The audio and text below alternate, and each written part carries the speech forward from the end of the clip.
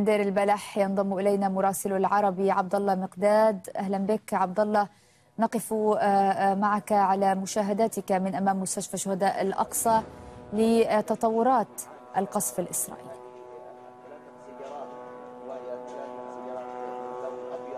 حتى هذه اللحظة القصف لا زال مستمرا في مناطق مختلفة من قطاع غزة أبرزها في المنطقة الجنوبية الشرقية من قطاع غزة تحديدا إلى الشرق من بلدة القرارة وشرق دير البلح وسط القطاع. كان هناك توغل بالقرب من شارع صلاح الدين في المنطقة الجنوبية من دير البلح وسط قطاع غزة في منطقة أبو العجين على وجه الخصوص.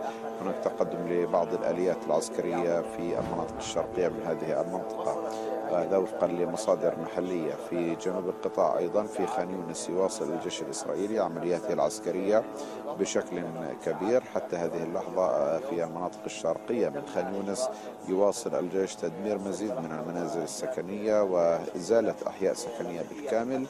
بالتوازي مع استمرار العمليات العسكرية في منطقة وسط خان يونس تحديدا في منطقة مجمع ناصر وفي حي الأمل وبعض الأحياء الغربية في المدينة. في وسط القطاع إذا ما عدنا إلى هنا هناك قصف مدفعي في شمال مخيم النصيرات وسط القطاع. بالتوازي مع ذلك سمعت أصوات إطلاق للنيران من قبل قوات الاحتلال الإسرائيلي في هذه المناطق.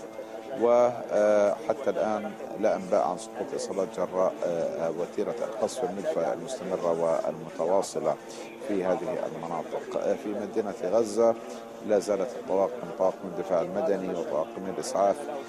تعمل في منطقة مجمع الشفاء الطبي لانتشال مزيد من الضحايا.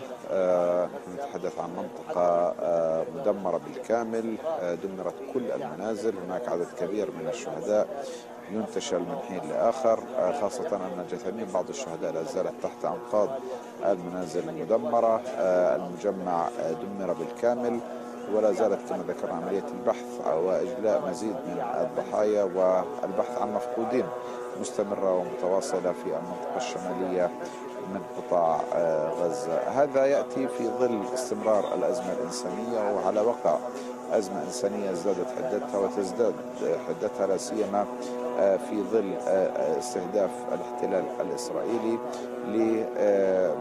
لأعضاء فريق منظمة المطبخ المركزي العالمي والذي قتل سبعة من العاملين في هذه المنظمة وأعلن عن وقف عملياته بشكل مؤقت في قطاع غزة. هذا يعني بأن كل السيناريوهات مفتوحة أمام مخاوف المنظمات الدولية التي تعمل على الصعيد الإغاثي في ظل تفاقم هذه الأزمة الإنسانية في قطاع غزة وفي ظل أيضا استمرار الأزمات الإنسانية وتصاعدها في داخل القطاع. بلا شك الواقع صعب جدا.